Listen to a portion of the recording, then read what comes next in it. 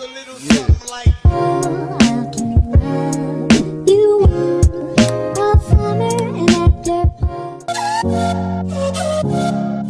and.